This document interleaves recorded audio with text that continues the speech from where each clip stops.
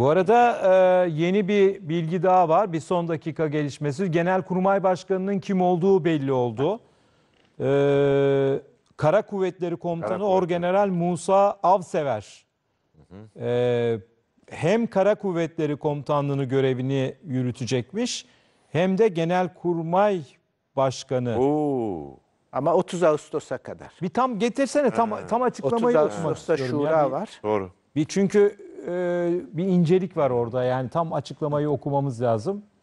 Ge- gecenin bombaları. Bomba. MİT, MİT Başkanı belli oldu İbrahim Kalın.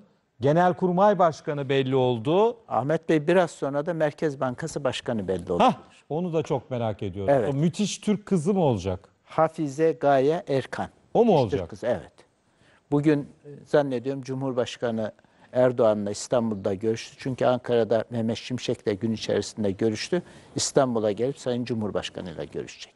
Cumhurbaşkanımız Sayın Recep Tayyip Erdoğan'ın Genelkurmay Başkanı Yaşar Güler'i Milli Savunma Bakanı olarak atamış olması sebebiyle Kara Kuvvetleri Komutanı Orgeneral Musa Avsever mevcut görevi uhdesinde kalmak suretiyle yani Kara Kuvvetleri Komutanlığını sürdürmek suretiyle yerine bir isim atanıncaya kadar Genelkurmay Başkanı olarak görevlendirilmiştir.